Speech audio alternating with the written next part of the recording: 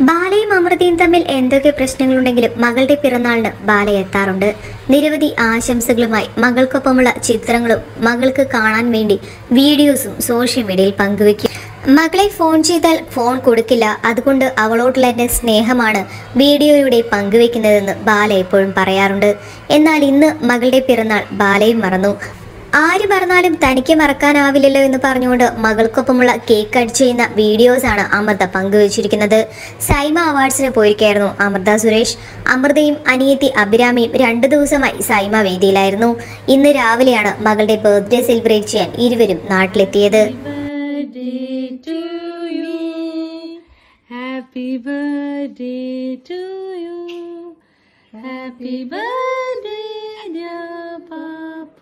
full ക്രീമാണല്ലോ.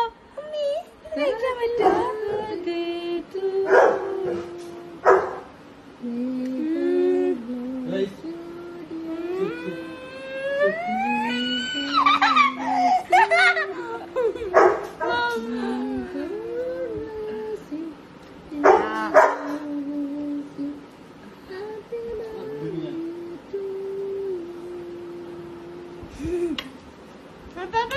ഞാൻ മാമ ഞാൻ എടുക്കാം.